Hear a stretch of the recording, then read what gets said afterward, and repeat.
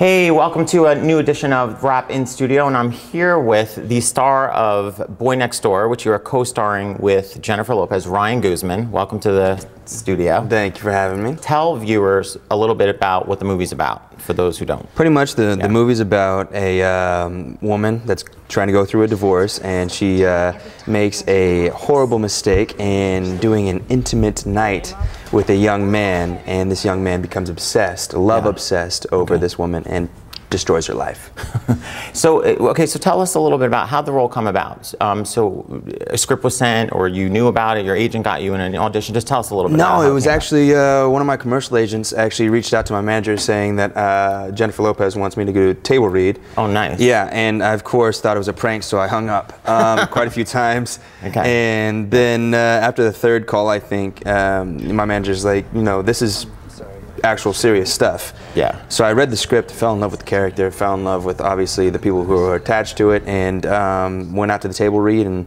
A couple auditions later, um, got the role. Yeah, I got the role. So you table read with Jennifer. Yeah. So knowing like the the, the racy subject matter, had you met Jennifer prior to uh, the table read? Here's the thing, though, with the racy subject matter, like you were saying, it wasn't actually so clear in the, the original script. It was just like one line that said "intimate scene" or you know, sex Okay, scene. okay, okay. Um, so that's not what like you know gave me the interest in the film. The the character and the people around. Like I said, uh, it wasn't until a couple days before shooting that scene did we actually get the break. We get the breakdown of, of exactly what we're gonna do, and that's when I was like, whoa. I was just gonna say, what was your first reaction? Uh, whoa. yeah, uh, it was uh, crazy, and I was really, really nervous because I wasn't really prepared for it.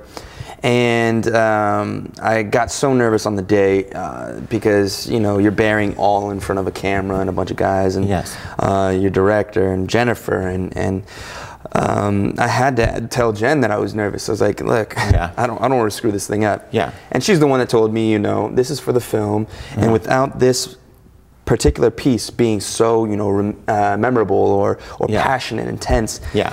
none of the movie makes sense. So in the film, because she, you end up being her, her student. What is the age difference supposed to be roughly in the film? Do you even know?